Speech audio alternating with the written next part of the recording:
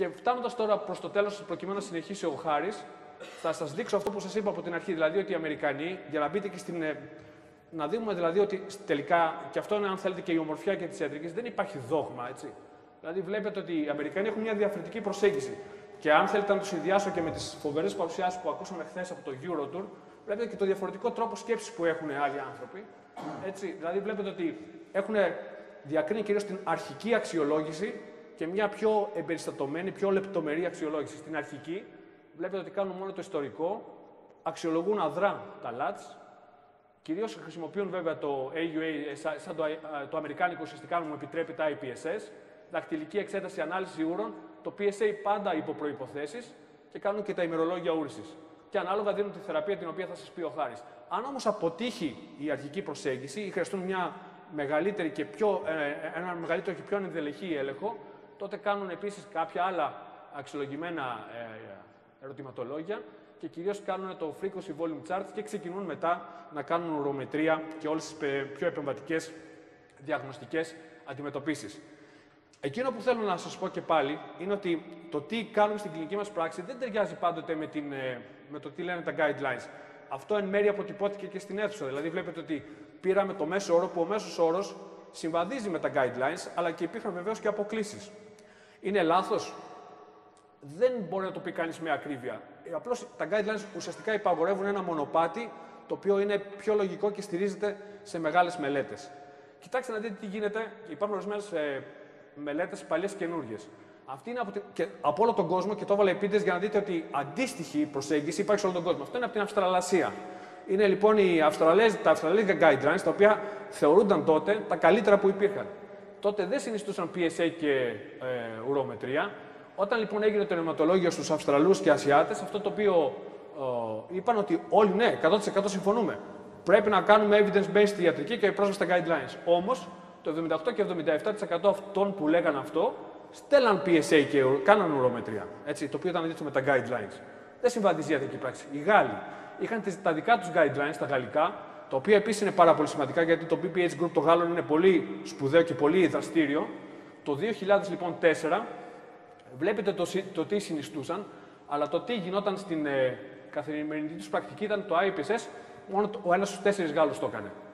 Ενώ το PSA που δεν το συνιστούσαν το 2004 οι γαλλικές ε, κατευθυντήριε γραμμές, 98% των Γάλλων το κάναν. Βλέπετε λοιπόν ότι υπάρχει πραγματικά διαφορά στην προσέγγιση. Πολύ σημαντική μελέτη του 2006 από έξι διαφορετικές χώρες στην Ευρώπη το τι κάνουμε σαν δια- διαγνωστική προσέγγιση στην καλώδη υπερπλασία του προστάτη. Τεράστιες διαφορές. Στη Γαλλία, τρία της χιλής κάνουν ε, ε, ελεύθερο flow, έτσι. Βλέπετε 31% κάνουν οι ουρολόγοι, αν πάτε όμως στην Ισπανία ή στην, ε, ε, στην Πολωνία, το 35% κάνει. Βλέπετε, ας πούμε, ότι στην, ε, στην ε, ε, αξιολόγηση του μεγέθους του προστάτη με, με υπερηχογράφημα, 11% στη Γαλλία, 75% στην Πολωνία, τεράστιες διαφορές, 62% στην Ισπανία, 1% στη Γαλλία- στην Αγγλία. Βλέπετε λοιπόν ότι η προσέγγιση ποικίλει και από χώρα σε χώρα. Βλέπετε επίσης ότι τα τεστ τα οποία συνολικά ε, συνιστούν ανάλογα με τη χώρα κυμαίνονται από 2 έως 4. Τώρα, μεγάλη διαφορά υπήρχαν ανάμεσα και στα guidelines. Δηλαδή, τότε το 2006 υπήρχαν τα αυστραλέζικα που ήταν καλά, συνιστούσαν τρία τεστ.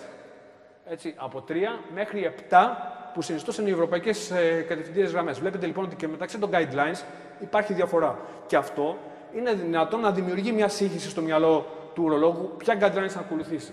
Τώρα, γιατί δεν συμμορφώνονται οι γιατροί γενικότερα με τα guidelines, οι λόγοι είναι μάλλον γνωστοί, τα ξέρουν, αλλά συνήθως θεωρούν ότι αυτά αντιμάχονται την αυτονομία που έχει ο κλινικός γιατρός να αποφασίσει. Και αυτό σημαίνει κυρίως στα μη πανεπιστημιακά νοσοκομεία. Υπήρχε μια πολύ ωραία μελέτη που είχε δημοσιευτεί το 2006. Τι θεωρούν πάρα πολύ περιοριστικές αυτές τις κατευθυντήριες γραμμές. Είναι άκαμπτες, είναι υπεραπλουστευτικές. Δεν μπορεί δηλαδή να εφαρμοστεί στον ασθενή τον οποίο έχουμε απέναντί μας. Είναι καλές για το σύνολο.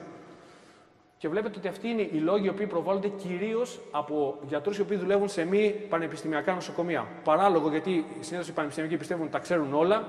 Από την άλλη, όμως, φαίνεται ότι είναι πιο ανοιχτοί στο να, κάνουν, ε, να αλλάξουν την ε, προσέγγιση τους ακούγοντας καινούργια πράγματα. Και κλείνοντας, αυτή είναι η τελευταία διαφάνεια πριν ξεκινήσει ο Χάρης. Έτσι, γιατί υπάρχει αυτή η διαφορά όσον αφορά συγκεκριμένα πλέον στη διαγνωστική προσέγγιση, γιατί έχουμε πολύ βαθμό ε, πολύ χαμηλό βαθμό τεκμηρίωσης, γιατί έχουμε πολλά διαφορετικά guidelines, γιατί υπάρχουν διαφορές μέσα, σε, μέσα στην Ευρώπη, από χώρα σε χώρα, μέσα στον κόσμο, στην αντίληψη την οποία έχουμε, στο κόστος, στη διαθεσιμότητα. Παραδείγματο χάρη, άλλοι δεν έχουν διορθικό, άλλοι έχουν.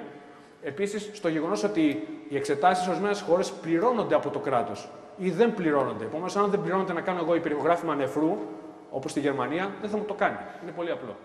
Και επίσης, άλλοι πάλι φτάνουν στο άλλο άκρο και κάνουν περισσότερες εξετάσεις. Γιατί; Γιατί υπάρχει μια αβεβαιότητα και πολύ συχνά ασκούμε αμυντική ιατρική. Ευχαριστώ πάρα πολύ.